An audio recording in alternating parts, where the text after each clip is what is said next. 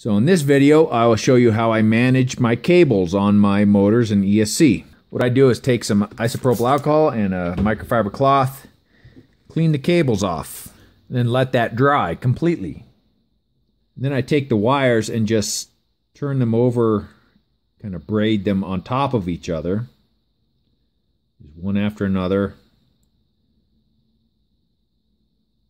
Then I take a hot glue gun and Spread a little bit of hot glue on each side of the wires.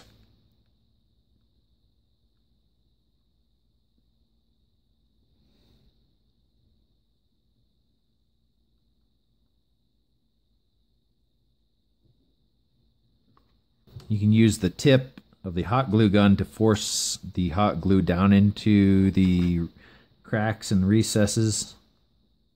Then I take a hot air gun and remelt this so that it's nice and smooth. Hold your gun about six inches away because you don't want to melt any of the wiring.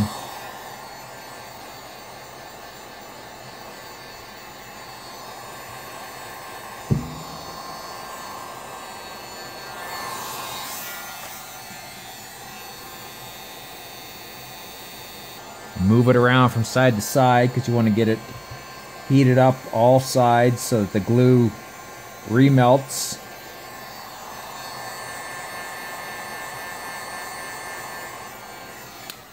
And then let this cool completely before you start moving it. And here is my main ESC cable, one of them, on my four ESCs and one, my quad ESC. So by twisting these wires, just like in a unshielded twisted pair, which uh, twisting the wires in a network cable or UTP cable reduces EMI interference and crosstalk between these wires.